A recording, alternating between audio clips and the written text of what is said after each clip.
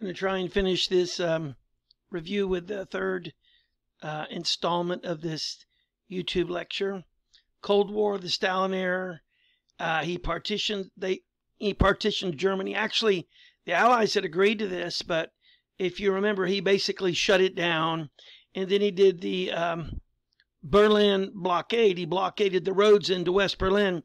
Remember, West Berlin is in East Germany.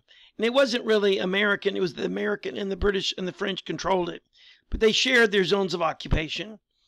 And so um, he shut all the roads from, from West Germany into across East Germany into West Berlin, which leads, that is called the Berlin blockade, which is leads to the Berlin airlift.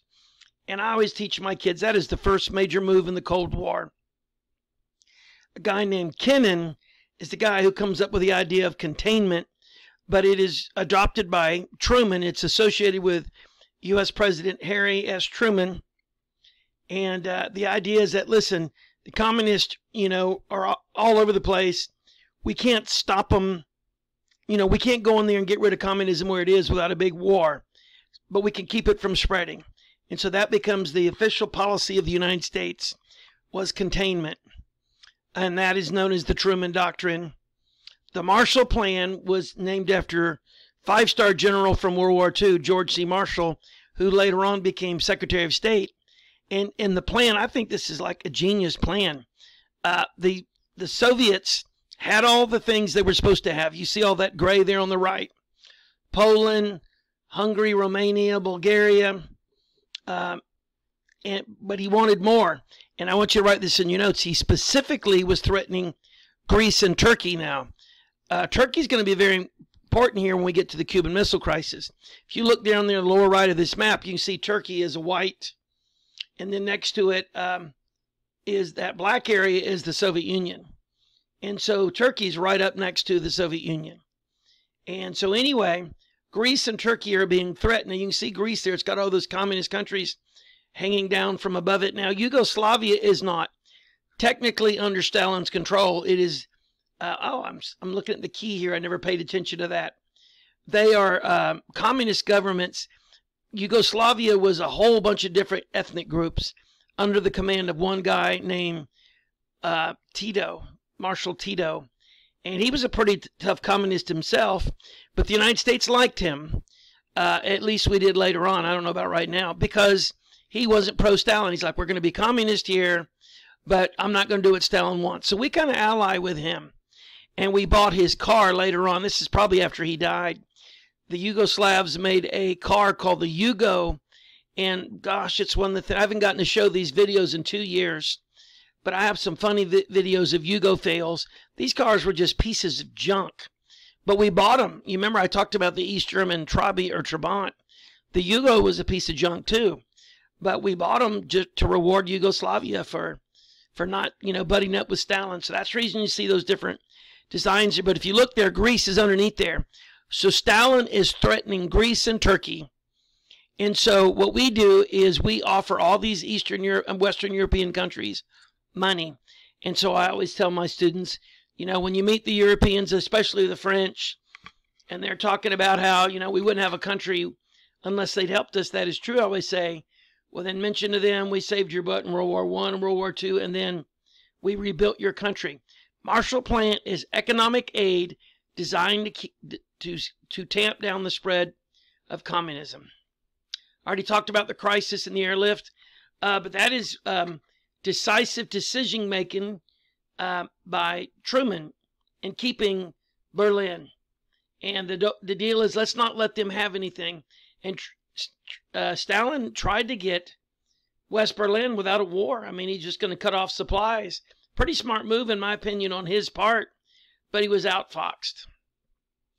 NATO, these Western European countries get nervous, so they set up this defensive alliance headed by the United States called NATO, which is the North Atlantic Treaty Organization. Couple terms for you to write down. I really went through the Cold War in such a hurry. I just showed you a couple of clips. It is my favorite unit to teach. But what these countries want is to be protest, protected not only by the Americans, but by the American nukes. Remember, at this point, we have nukes. The Russians get them pretty quickly. And any country that's in NATO we can protect them with our nukes. And um, that is called the U.S. nuclear umbrella. So, looking at Denmark there, they are sheltered by the U.S. Uh, nuclear umbrella. Uh, several years later, um, the Soviets form the Warsaw Pact. Russia gets the atomic bomb. You're supposed to have learned about that in APUSH. Probably used American spies to give them the plans. Uh, the Korean War, I'm pretty sure I drew this up on the board. North Korea is armed to the teeth by the Soviets and it invades South Korea. And the Americans got the UN to vote to help South Korea. If you remember the um, UN, I don't know if I've told you this or not. We're, boy, we're having a sloppy finish this year. But the UN, the five permanent members of the UN Security Council, are the United States, Britain, France, Russia, and China. That's the five winning countries of World War II. Well, the Chinese, even though Chiang Kai shek has bailed on the mainland and is sitting out there on the island, we recognize him as the leader of China. So the Chinese vote went our way back then. And so the Soviets, if you know how the UN Security Council works, if one member of the UN Security Council, one of the five members, I think there's 14 countries on it, they rotate nine and five are permanent. If one of them votes no on a bill, it nothing happens. They have all five countries have veto power, and frequently when the um, somebody tries to punish Israel, the United States will step in and block it. Or when somebody tries to punish Japan, we will step in and block it. If anybody tries to, you know, um, punish, say, Cuba, the Soviets would have blocked it during this time.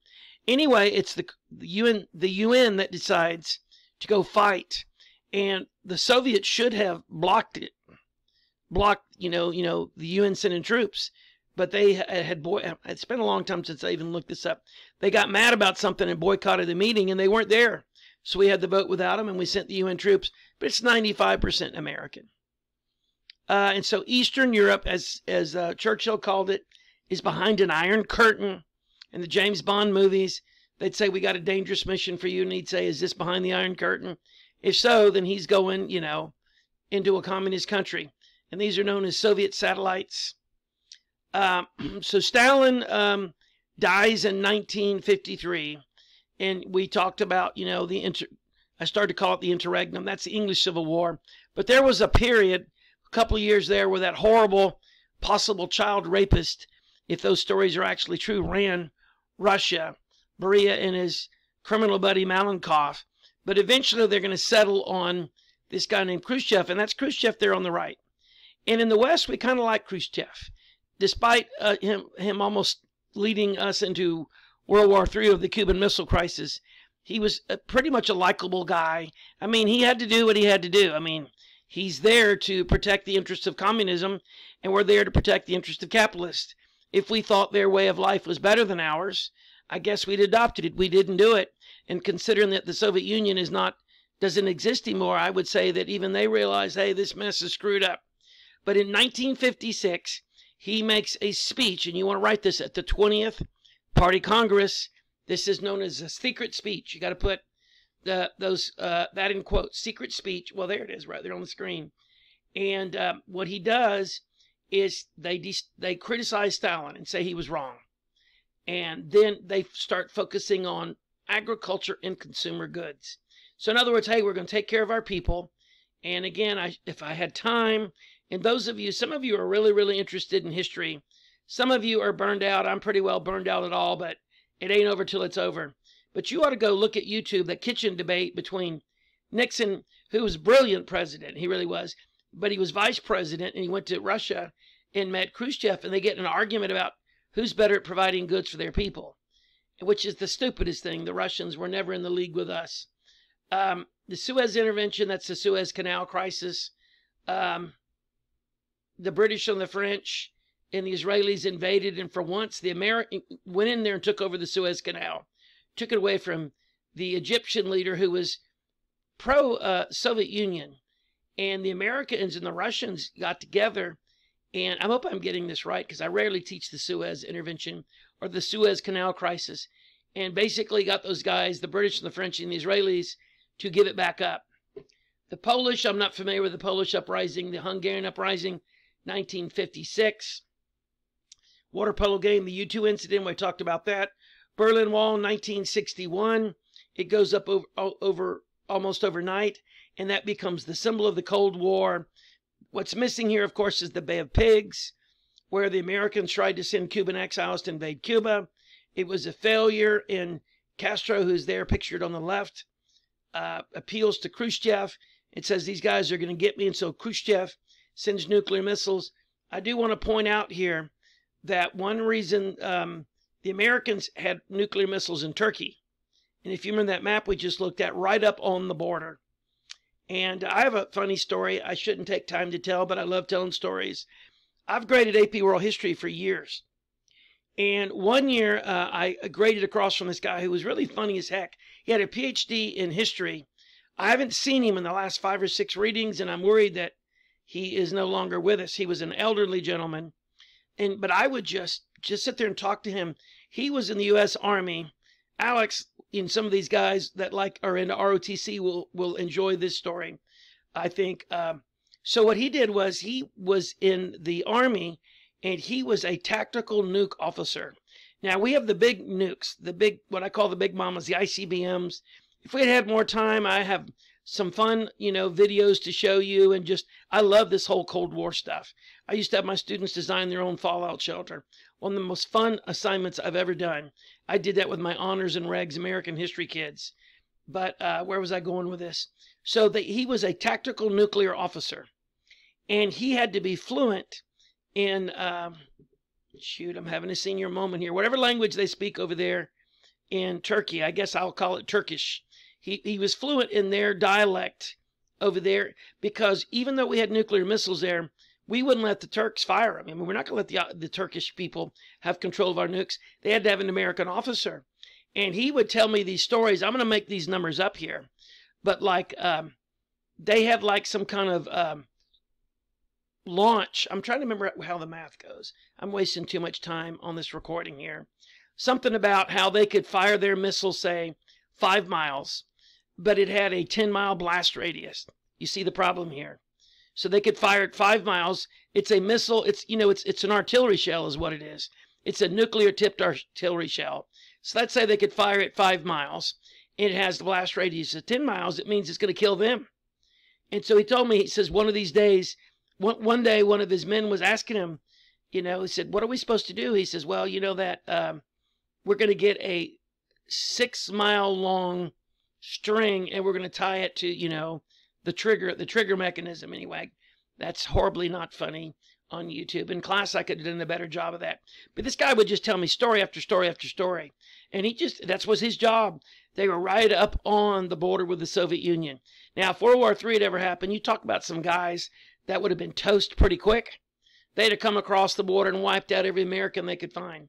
But, you know, these stories about our nuclear missiles there are true because I know a guy who was in charge of them. All right, this is Brezhnev, who I like to call the eyebrows guy. And he's got gray eyebrows and very expressive here. Of course, this is his official portrait. Notice the medals because, um, you know, the Russians are really into medals. Stalin did all that. And so You'll notice every single of these single one of these leaders we're going to talk about here is old because every one of them had to be someone who was back around during Stalin's time.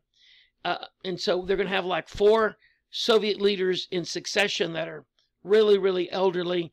And finally, they're going to go with a young guy, and I think you should know his name. When I say young, he's in his 50s, Mikhail Gorbachev. And you know what happens then? You know, he lets the cat out of the bag. All right, so he comes along. So Khrushchev was kind of a nicer guy.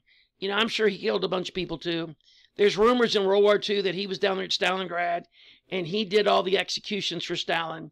None of that can be proven now.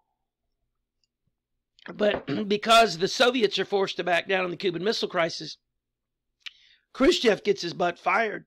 And the new guy they bring along is Brezhnev, and he's going to be tougher. And he starts building their arms up. And this is who Nixon had to deal with. And as I told you uh, way back in class, uh, this is the guy who would like grab Nixon and bear hug him because Nixon and one of these people doesn't like to be touched. Uh, he was there when the Czechs, I'm not even sure the Czechs tried to leave the Warsaw Pact. Seems like they wanted to have socialism with a human face. You know, Czechoslovakia was never quite as bad, like Hungary, they were never quite as bad as these other countries. East Germany and Bulgaria, Romania, those were tough places to be, you know. But these guys just wanted to do socialism their way, and Brezhnev sent in the tanks, and that's known as the Brezhnev Doctrine. So you want to asterisk that. The Brezhnev Doctrine is, you know, the Soviet Union reserves the right to interfere in any of our socialist brethren countries. That's some bad grammar there. Kind of like our Monroe Doctrine. We told the whole world we have the right, you know, to fix any problems in the northern and southern hemisphere of the Americas. Vietnam War, uh, I hate to say this because I know some Korean War veterans, my two uncles, and Vietnam War veterans, but for history kids, they're almost identical. There's a northern part and a southern part. They're both in Asia. In both cases, the northern part is, you know, staffed by the, you know, the Russians give them weapons and they invade the south. And the Americans in both occasions send soldiers to fight on the southern side. The Korean War is considered by Americans a win because even though no boundaries were changed, we kept communism from spreading. You know, we contained it. There's that word the Vietnam War, uh, it was going badly. We withdrew our soldiers, and then North Vietnam took over South Vietnam and made the entire country socialist and did what they do in these countries. They put you to re-education camps. You know, as a teacher, you know, it's fun to make jokes whenever they come in with some new bullcrap educational theory and they make us go learn it. And I'm like, you know, they're going to send us to re-education camps. Um, all right, the Vietnam War. Uh, so that's a loss on the American side. We did not contain the spread of communism. That happened in the 60s and 70s, by the way. The Afghan War happened in the 1980s. There should be some years here. And what happened was the Soviet Union did not like the government of Afghanistan, so they invaded it. And they just went and started shooting people. One story the Russian, you know, special forces, like their Green Berets, there's this hotel, the presidential palace is there. And so they, they dropped in their Spetsnaz or whatever their special forces are. And they went up and just started shooting people. When they got up to the top, what the guy in charge was, I'm, I never forget reading the story.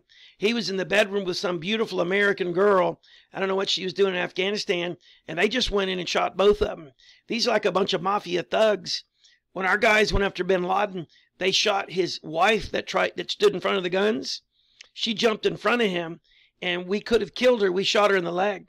Well, these guys killed the American woman, killed killed whoever was in the hotel, the president of the country, whatever. And I never will forget the leader of the unit had told the guys outside, he goes, no matter what happens, you shoot anybody who comes out this front door. He goes out the front door and gets himself shot. And so this is just a brutal takeover of Afghanistan. And so this is their Vietnam in that the Russians send their troops in Afghanistan. And what do we do? We give or sell, I don't think we sell, we give weapons to the Afghans. And the reason this becomes such a big deal, uh, the, we are arming these Muslim holy warriors called the Mujahideen. And there's rumors, I don't think they're true, but rumors that, and a lot of, you know, spy books written on this, that our CIA actually met a young Mujahideen at the time who was extraordinarily tall for that part of the world a guy by the name of Osama bin Laden, and we armed him because he was killing Russians for us. And so the Afghanistan war dragged on for years and years. Anytime you get stuck in a war and you can't get out, like it's what happened to us in Vietnam, what happened to the Ruskies in Afghanistan, that is known as a quagmire. Whew, boy, no rhyme to reason how these uh, facts are dropping off. Solidarity is the Polish labor union.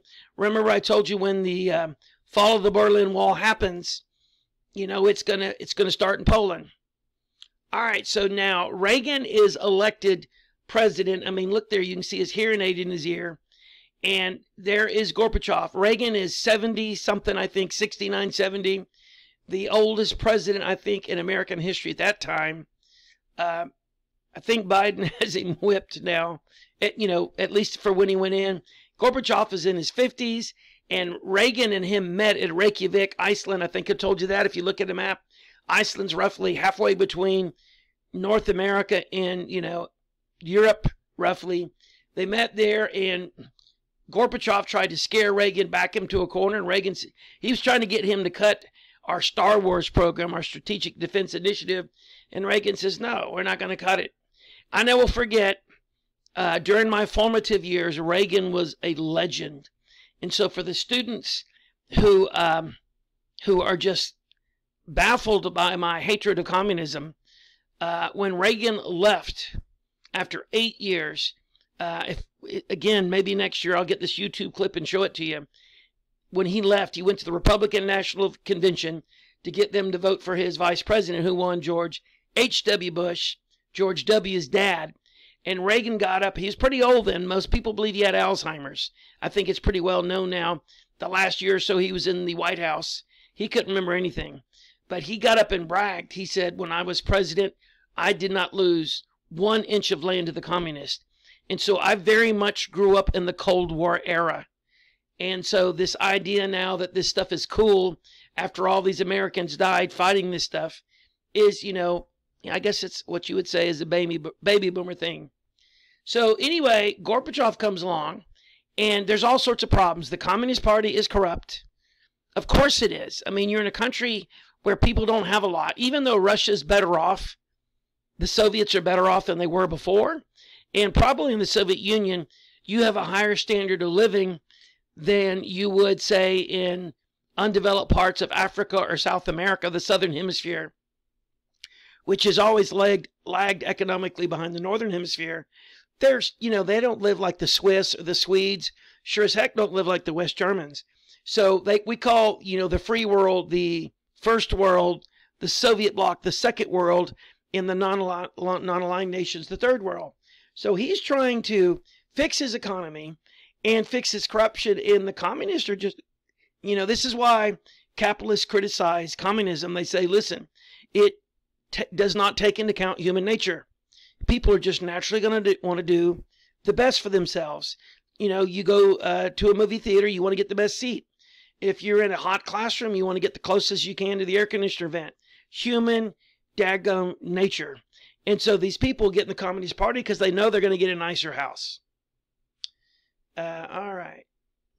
The big ones perestroika, glasnost, and demokratia, which of course they don't have.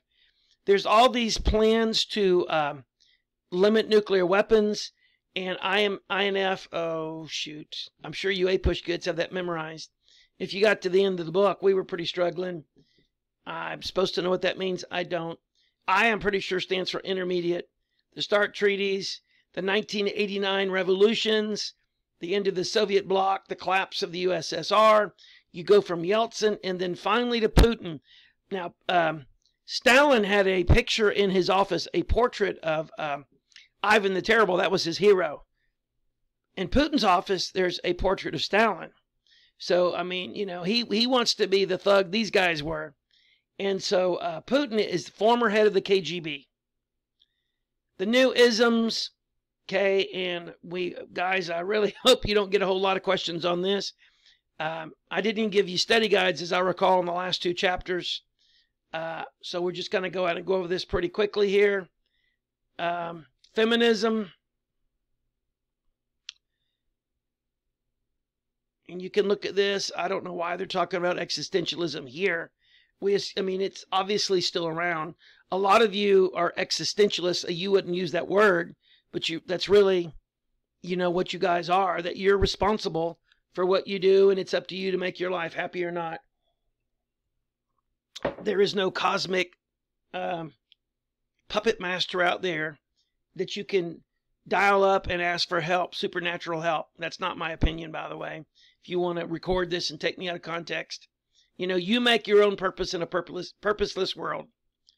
Uh, consumerism, you know, that's under attack now. Again, uh, it's kind of interesting. Um, and I tell my kids in AP Macro, the socialists and the capitalists both claim they can do a better job giving people goods. So a lot of people say we need to be Marxists so we're not materialistic. They're materialistic too. They just feel like there should be a more equitable sharing of the wealth, uh, increasing real wages. I'm not going to explain to you what real wage. Well, I will tell you it's wages adjusted for inflation. All these things here, and you know, I hear a lot of people talk about how poor the United States is, you know, you know how how poor our people are. If you've ever been in any other countries, I've been to some. Um, their poor are usually a lot poorer than ours, and a lot of our people say they're poor and they have four cars at home, and you know five televisions, and everybody has a cell phone. Um, all right, the Green Party's come along, and you know they're not only you know anti-pollution, but they're anti-nuke. Uh, the welfare state, and so there are what they call the Christian Democratic parties. And so what happened was during World War II, like for instance, I don't know if you want to use the word socialism. I'm, I'm okay with it. But what we did in the United States is basically we had a centrally planned economy. Our government sat down and said, this is what we're going to do. And we didn't call it a five year plan, but we, but we had a deal. And I always feel like socialism works in small doses and for short periods of time. Uh, if you remember from our um, project, I feel like families you know, the nuclear family, couple of parents, couple of kids, that is kind of like socialism. Although I doubt your parents let you have their money. But if you think of it, it's kind of like everything is managed equally. That's the that's my theory. It's when you try to put it on a state basis that you have issues with it. All right, so this is a big deal. The Christian Democratic parties. So these guys in this country would be probably called Democratic Socialists. There's a lot of quibbling over words. Uh, I know that Bernie Sanders uh, said recently, I don't know, six months ago, that if we just took like 1% of the wealth away from the top 1% of the people in this country that are wealthy, we could, you know, give every homeless person a, um, you know, a place to live. And I have a theory on that. Feel free to ask me about it in class sometime. Uh, eliminate poverty and homelessness, provide medical care for all, ensure dignity for the elderly, provide education, remove the class barriers.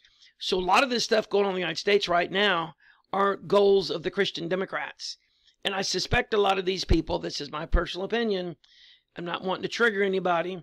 I kind of feel like if these people in this country trying to do this call their party a Christian Democratic Party instead of the um, Democratic Socialists, I think they might have some more success. Struggle is expensive. She comes along and cuts it. Remember, they call this cradle to grave welfare. I believe this is the last lecture, and what I told you was there's a whole bunch of different names. And you kind of need to know that, well, where we go. This is pretty good. The European coal and steel community. There's a whole bunch of like sub meetings. I, I don't think in 2021, the year of the COVID, you know, shutdowns and isolations, they're going to give you an essay this tough that you have to do at the end of the 20th century. And so when I was a kid, we always talked about the common market. We called it the common market, and we heard about that all along. The common market was coming along, and now we just call it the European Union. Obviously, the British just left. All right. And so this is the end of a long lecture. Now, remember, I'm hoping to save this for posterity and leave it out there so next year I don't have to record these videos again for those of you who are my students this year, 2020, 2021, after you're done with this, the best thing for you to do is go to Marco Learning and watch the new Richey videos, not tomrichey.net, but just go to YouTube and put Marco Learning AP Euro. Those are the best ones to watch. All right.